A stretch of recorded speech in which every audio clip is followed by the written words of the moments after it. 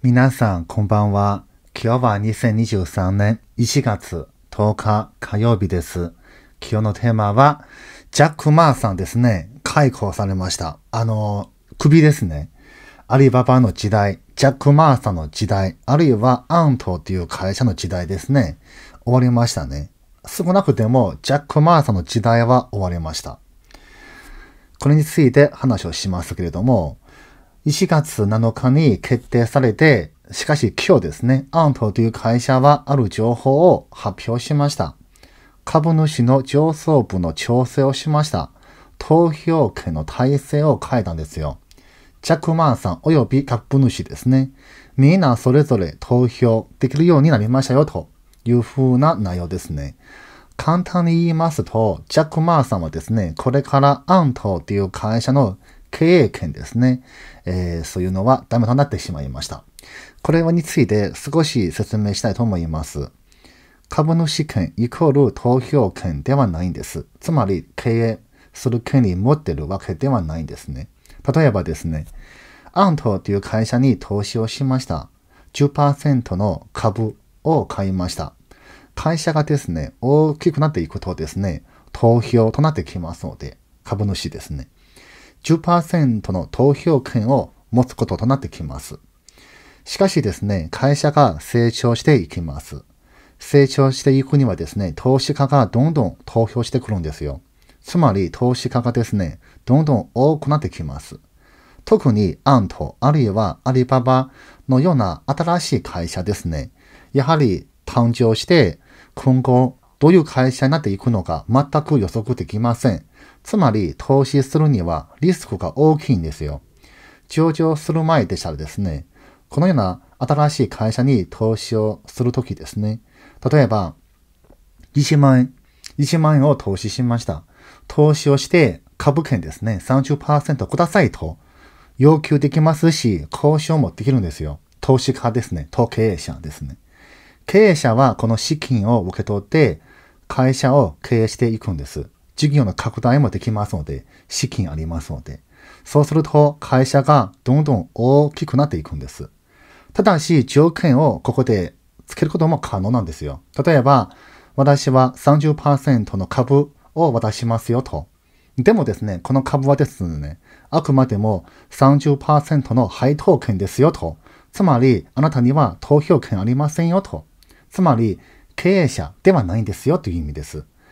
簡単に言えばですね、会社は社長ですね、経営者であって、投票権はやはり一番ですね。持っている株はですね、10%かもしれません。大株主はですね、裏にいっぱい出るかもしれません。ただし、経営する権力ですね、経営者にあります。これは中国でよくある話ですが、アメリカにも多いんですよ。中国はですね、大体アメリカの真似していますので、経営者がですね、自分と一緒に会社を立ち上げた人ですね、の方に株券をですね、株を渡します。あるいはこれから人材ですね、あるいは管理職の方に対しても渡すんですよ。でも、あれは投票権ではないんです。あくまでも配当権ですね。このような方法で経営者は安心します。投資家はですね、資金を、えー、投資してくれて、その資金を受け取っていきます。でも、経営権、あるいは投票権ですね、自分にありますので渡しません。つまりですね、株券は15%を持っているかもしれませんが、でも投票権はですね、51%を持っているかもしれないんです。会社はやはり総経者のものですので、やはり特権というのがありますね。ただしですね、ジャック・マーさんの場合ですね、アンと会社を管理する会社ですね、2つ A 社と B 社あるんですよ。間接的に経営権を持っているんですよ。つまり株券の15%ですね、A 社と B 社持っていて、ただし A 社と B 社の経営者の、えー、持っているですね、仲間、あるいは家族ですね、実はジャック・マーさんなんですよ。簡単に言いますと、ジャック・マーさんは代表なんですね。今回、株主っていう中身ですね、えー、改正して、それをダメにしました。アントという会社はですね、ジャック・マーさんの投票権は、今までですとですね、53.46%なんですよ。なので、ジャック・マーさんはですね、すごい、まあ、株主ではないんですが、あの、投票ですね、権、あるいは経営者なんですよ。ただし、株主は実にいっぱいいるんですよ。みんなジャック・マーさんの部下であったり仲間なんですよ。ジャック・マーさんはあくまでも代表なんですね。ただし今後、今は改正しました。ジャック・マーさんの株券はですね、6.2%だけなんですよ。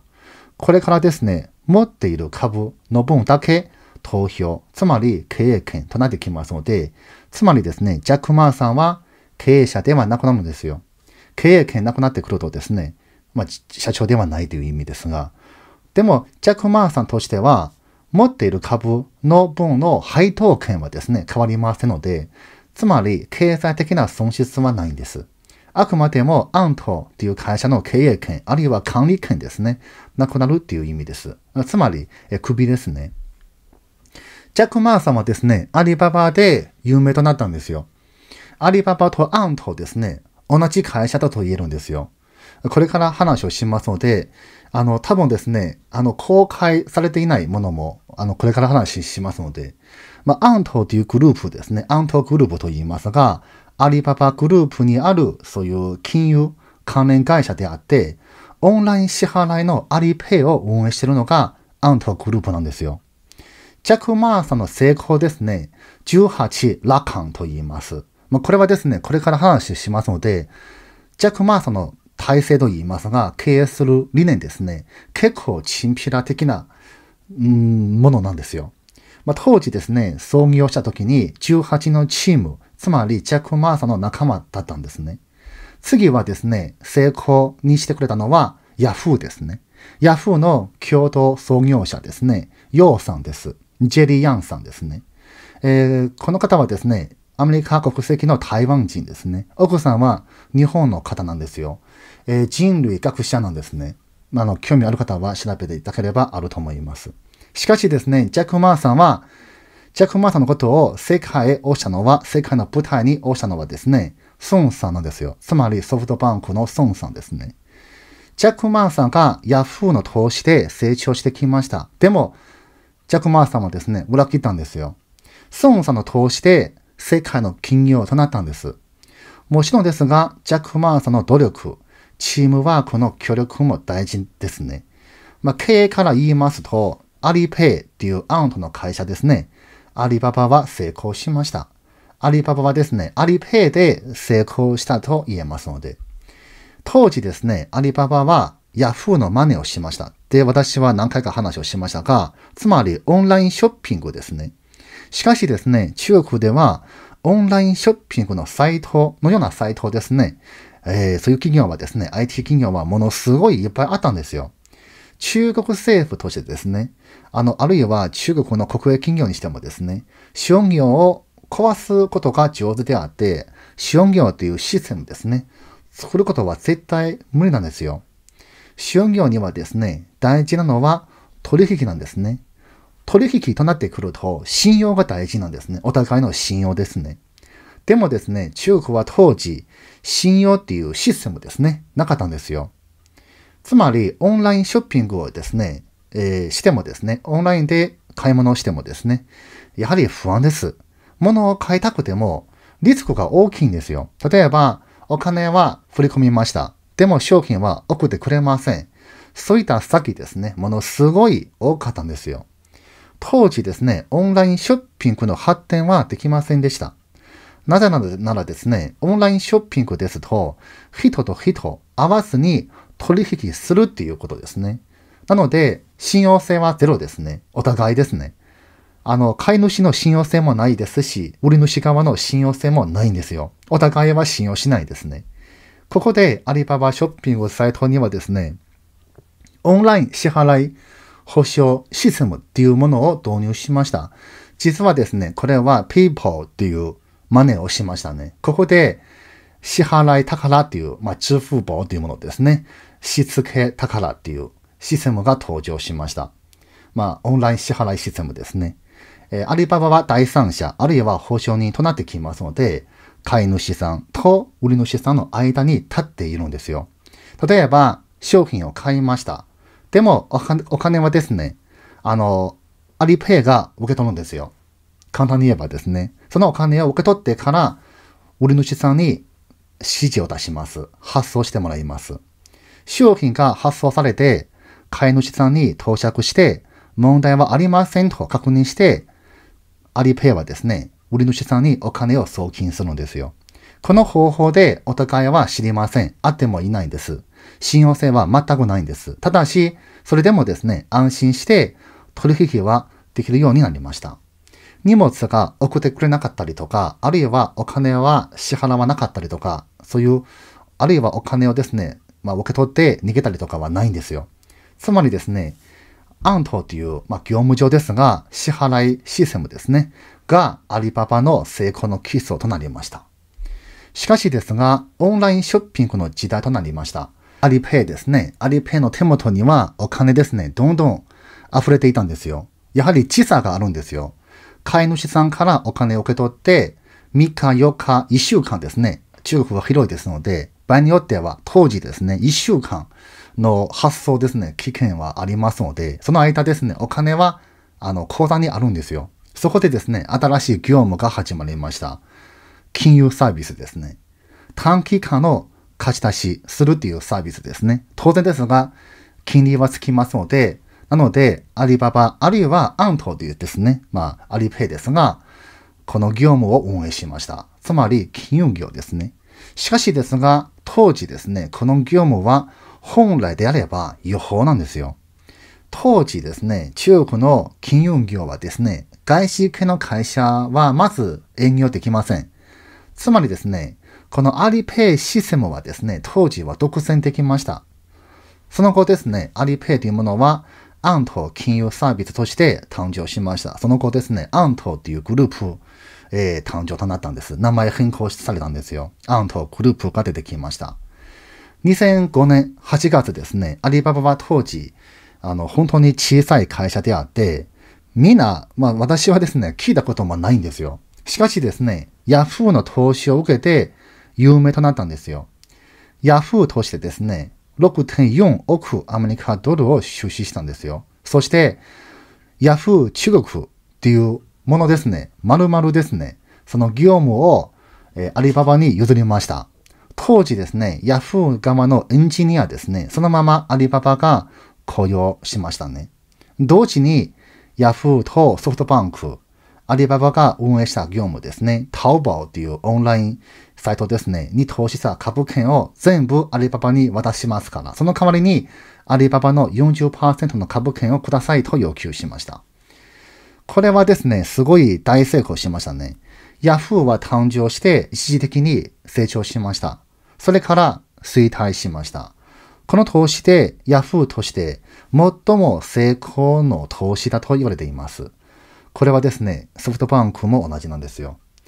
当時の約束であって、契約ではですね、契約上ですが、5年後、2010年の10月、ヤフー側の役員の人数とアリババ、つまりジャック・マーさん側の役人、役人、役員の人数と同じにしますよっていう条件ですね。つまり、平等公平っていう意味です。当時のヤフーはですね、確かに衰退していました。でも、世界では影響力のある会社ではありました。当時ですね、タオバオと、えー、アリペイですね、出てきたところであって、これからはどうなるでしょうかみんなわかりません。アリババの営業利益はですね、1年間1億アメリカドルもなかったんですよ。その後ですね、ヤフーはあの衰退となって、アリババは今ですね、もう成長しました。タオバオはですね、オンラインサイトですが、中国で最も大きな、えー、まあ、ビッグですね。企業、オンラインサイトとなったんですよ。オンラインショッピングサイトとなってなりました。2010年となってですね、役員の数は8人です。なので、ヤフー側は4人、ジャックマンさん側は4人です。平等公平です。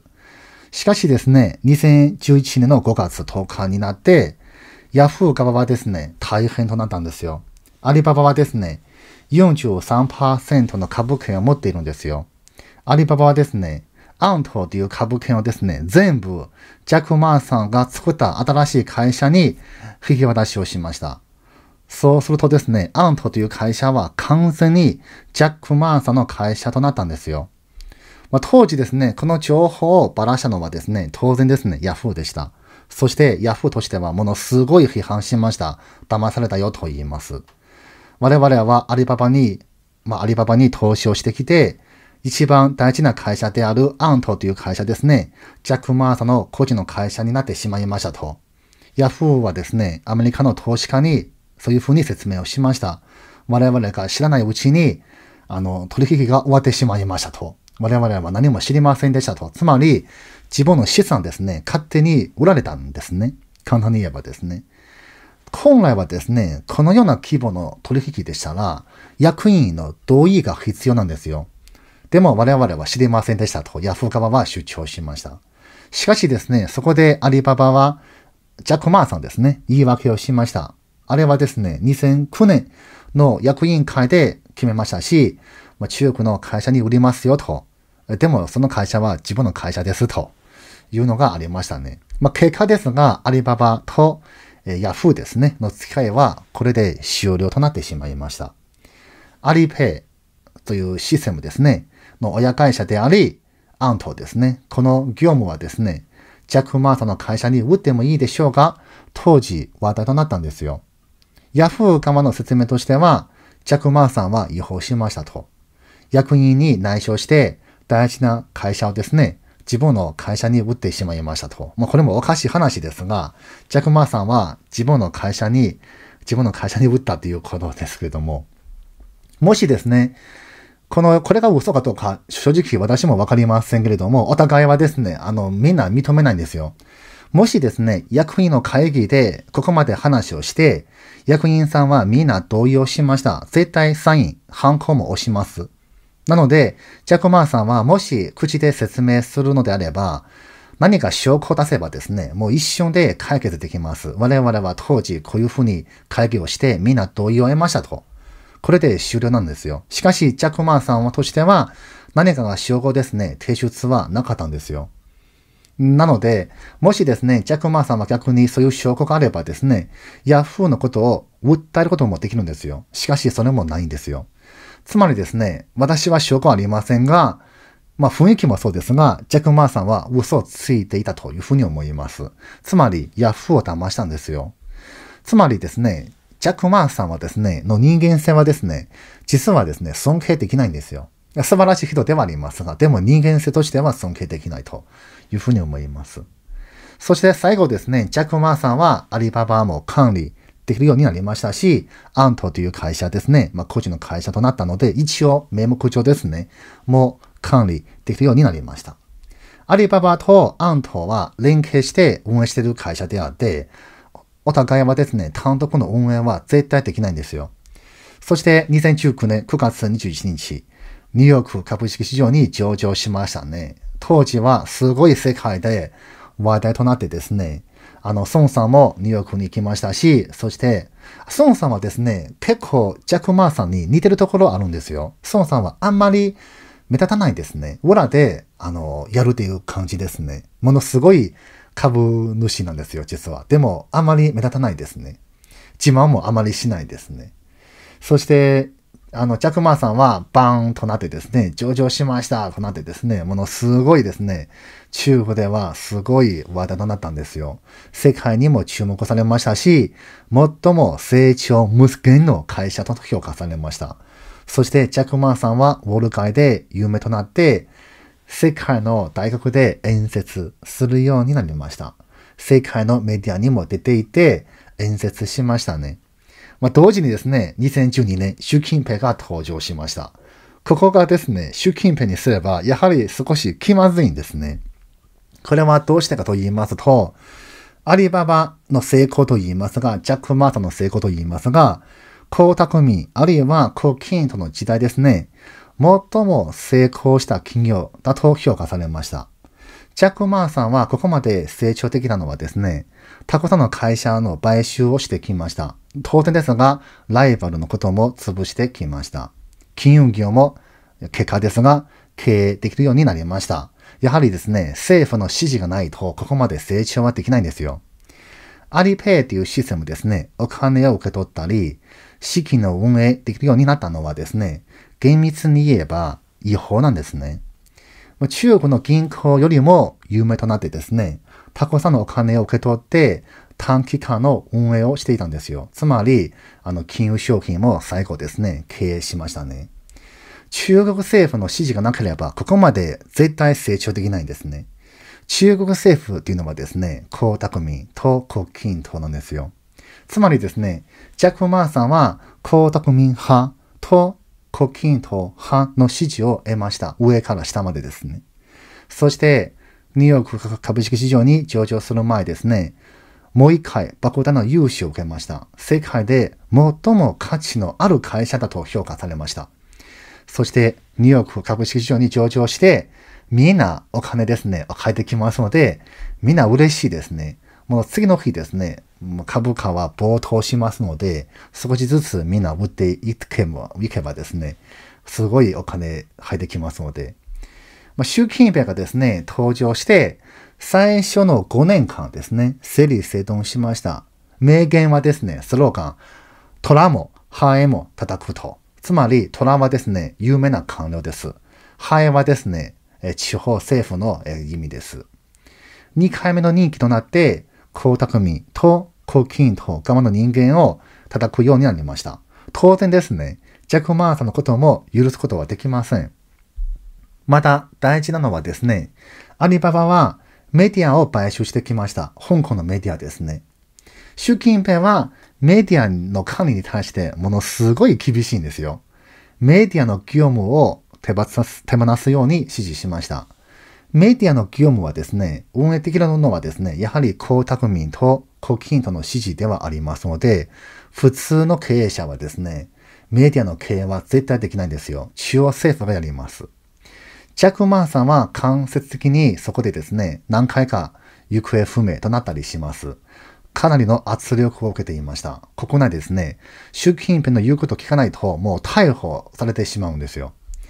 2019年9月9日、55歳になって、ジャック・マーさんは定年しますと発表しました。ものすごい話題となったんですね。農業やります、先生にやりになりますとかいろいろ話をしましたが、あれは全部嘘です。ここまで頑張ってきましたし、お金大好きのジャック・マーさんですよ。その定年はおかしいじゃないですか。55歳ですね。男の一番いい年齢でしようと思いますが。しかしですね、定年だと言いますが、いろんな準備をして1年後定年しました。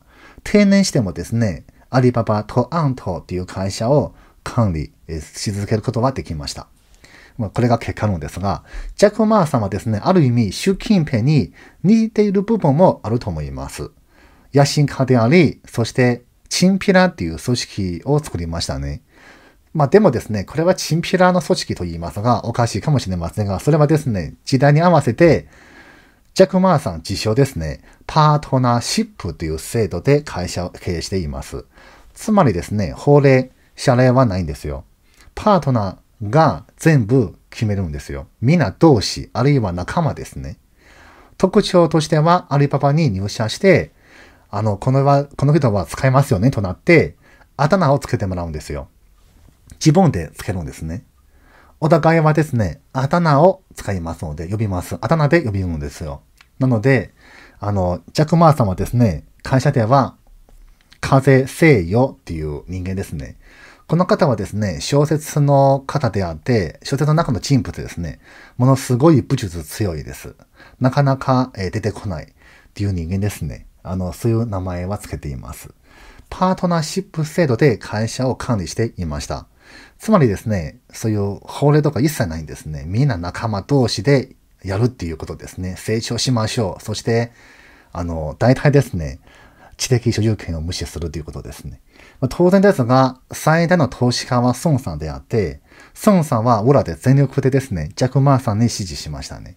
中は、やまあ当然ですね、日本に住むぐらいですから、やはり仲はいいんですね。もしですね、アントという会社はニューヨーク株式市場に上場しましたらですね、2年前ですが、まだ世界で注目を浴びます。上場する3日前ですね、習近平は止めたんですよ。そうすると、アントという会社は上場できません。投資家たちは皆ショックですね。それから、アントという会社に対して改造して、アントは IT 企業のはずなんですよ。でも、金融企業にしました。まだ2021年4月、2対2の日付でですね、182億元罰金したんですよ。当時のレートで換算して、3000億円弱ですね、の罰金あったんですね。これは中国においては史上初の罰金の金額ですね。そしてずっと叩いて、最後ですね、今の結果となりました。この間話をしましたが、もしですね、ジャック・マーさんは中国に帰ってきましたら、少し話は変わるかもしれません。やはりジャック・マーさんは帰りませんでしたね。あの、習近平はですね、人を派遣して帰ってきてもらおうとしたんですよ。でも、彼は帰らずにですね、タイにいたんですよ。でも、ジャック・マーさんも分かってると思いますので、もし北京に帰りましたらですね、無理ですね。習近平に狙われているのが事実であって、帰っても無理なんですよ。絶対に無理なんですね。成長はないと思います。そこでですね、ジャック・マーさんは3日前ぐらいですね、タイで何かボクシングの試合に、まあ見に行ったんですね。そしてその方に、あの、写真も撮ったりしましたし、そしてこれはタイの有名な料理店ですよ。ミシュランですね。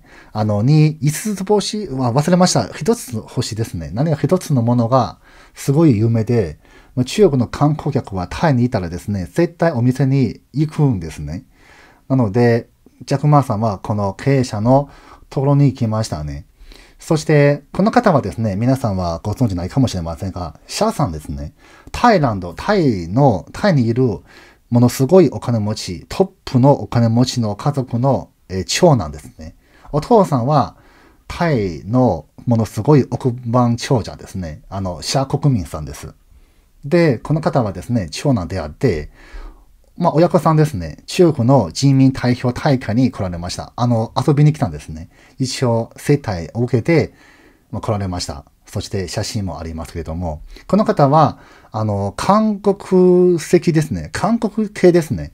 の奥さんですね。あの、シャさんの奥さんですが、そういう関係なんですね。今の噂ですね。ジャック・マーさんはタイに行って、これからタイで発展するというか、まあ、出資してですね、あの、そういう、何と言いますかね、商売と言いますが、まあ、経営すると言いますが、これからタイに進出するっていう話はありますね。まあ、ここまで、やはりですね、あの、仲いいので、あの、タイのですね、あの、億万長者と仲いいですので、そうするとですね、何か商売するっていう話は出ていますね。何が文化的なですね、なんか、なんかサッカーとか何か忘れましたけれども、そういう噂はいっぱいあってですね、また注目してですね、皆さんに話をしますけれども、しかしですね、これでわかるのはですね、ま、中国の政治体制ですね、習近平は何回も言いましたけれども、自分は、まあ、そういう民営企業に支持しますよと言ってですね、全部嘘であって、結果としては、やはりジャック・マーさんは変えることはできませんでした。